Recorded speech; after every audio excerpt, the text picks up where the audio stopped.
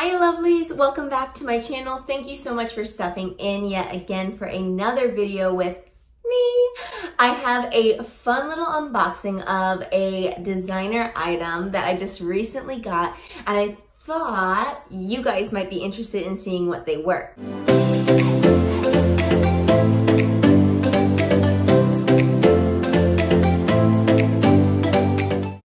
Just recently got me a new pair of sunglasses. I am guilty as charged. I love sunglasses. I love me some designer. They are quite expensive. I've been making do with a little bit more budget friendly lately, but I found a pair that I fell in love with and I just had to get them. Yep, I got my first pair of Tom Ford sunglasses and these are just beautiful. So the glasses come inside of this sleek little brown velour case. The case itself is very sturdy and it's a little bit heavier than normal sunglass cases. It also has the designer label wrote right there on the top. Ooh, look at how pretty.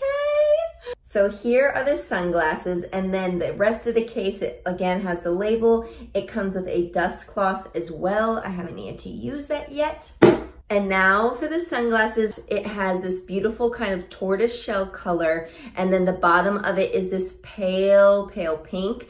And then also it has a gold like brow bar and they are just magnificent on. Like, Yes, I love these 100%. These make me feel like a movie star.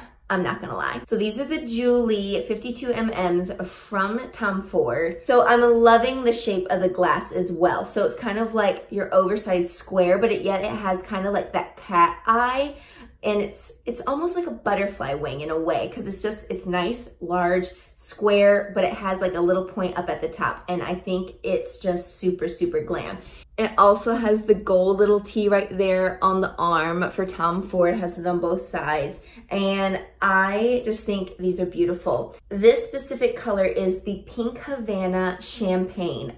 How flipping ideal is that? Like, Yes, thank you. Has the Tom Ford logo right here up in the top left corner as well, if that's something that is like a big deal for you, but it's very like subtle. At the back tips of the arms, it also has a little gold like plate saying Tom Ford 2. It has a gradient lens. As far as that goes, it's definitely darker up top and it fades out to the pink. But I don't even know how many compliments I got these the first day that I wore them into work. Like, everyone has loved these sunglasses. They do come in four other colors. So of course I was just drawn to this one particularly because they were the pink.